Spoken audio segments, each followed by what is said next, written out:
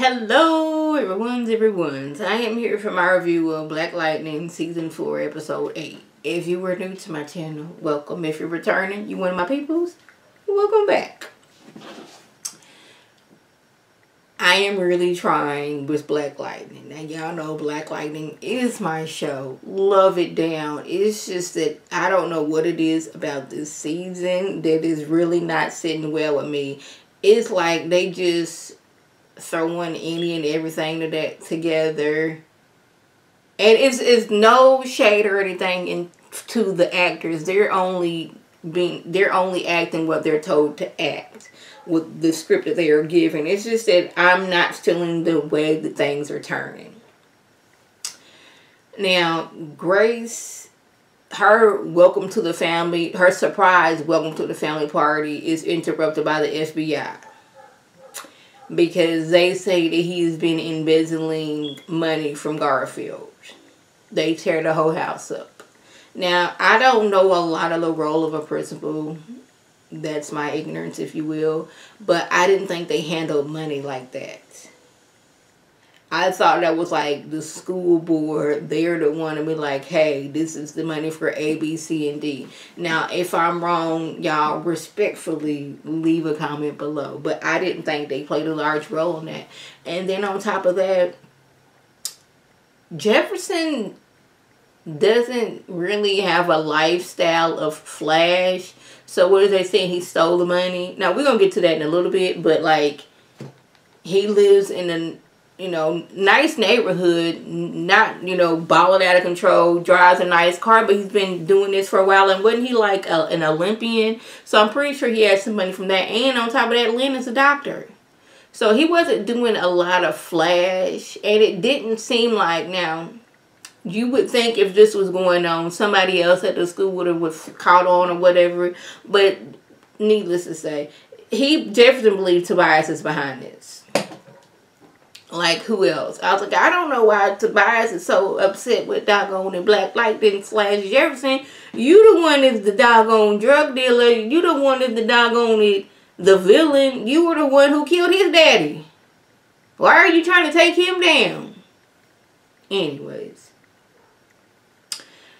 I was wondering how they was going to thrust new Jennifer into school, but her story is that she is a cousin from Lynn's side, and she army brat, and she wanted to spend her senior year in the states. I was like, okay, that's cool. So, what are we going to say happened to Jennifer? Oh, Jennifer decided she wanted to study abroad. That's what she wanted to do, study abroad. Now, mind you, she didn't tell this to any of her friends or get on social media to say that, hey, y'all, studying abroad. I'm going to be in Prague for my senior year. I'm going to be in wherever, Paris or Italy or wherever for my senior year is that she up and left. That was it. I was like, okay. That that's what y'all going with? Okay. So this is what one of the things I didn't like. Now, now that it's got out there that Jefferson was embezzling money from the school without any proof at this time, I believe. There's one student, he's, I guess he's a, call himself an activist for social justice, I don't know. Dalvin Jefferson talking about some, he's been preaching to us for years about what we should be doing and doing good. And he's stealing the money from us. We need our money back. We need our money back. And I'm glad it was one student that did not believe that. It's like Mr. Jefferson, he's been there for us. He's made sure a lot of people who could have been in jail and or no longer of this world made sure that they graduated, went to college, and made something for themselves. You can't just believe anything that people say. They lie all the time. They will lie or just ignore things all the time. I'm not gonna get all the way into that, but I'm trying to. I ain't trying to get my you know my video blocked or nothing like that. So we go. How can we we can say this? There are certain people will be like, you shouldn't do that, you shouldn't do that. But then when somebody that they like does it, it they had they hush or they're praising that person for doing it but when somebody else does it it's wrong read between the lines right there. So you can't just believe everything that you hear. You do your research. Know that this man, he has never showed any in what's the word I'm looking for? He has showed integrity through and through, and he's been there for these students through the stood up to people who had guns on the students. That's what he has done. So Tobias out here playing old games. Now Jefferson's daddy's house in the whole neighborhood seemed like it's gonna be taken away from them by some way or form. I wasn't really paying attention, which I should be doing it, but it's just like this this season is really working my nerves. They're gonna put a hospital there.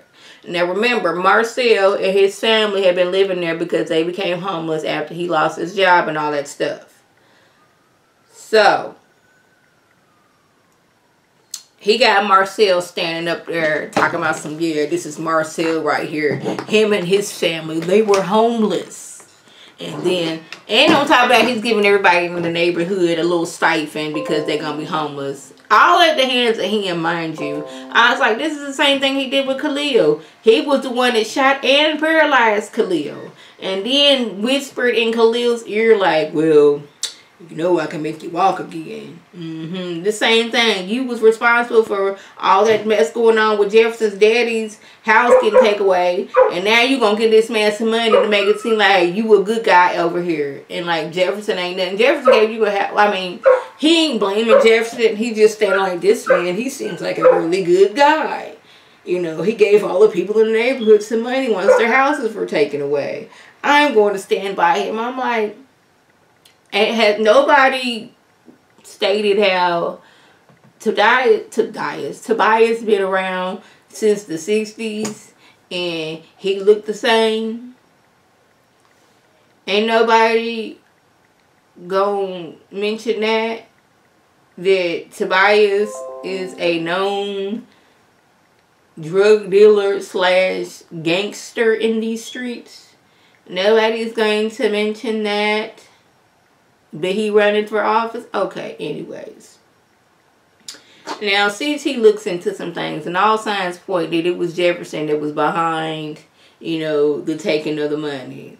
I don't know. It, it looks so good that it could, it, it, might, it might as well been you done it. The money was sent to an offshore account in Jennifer Hernandez's name.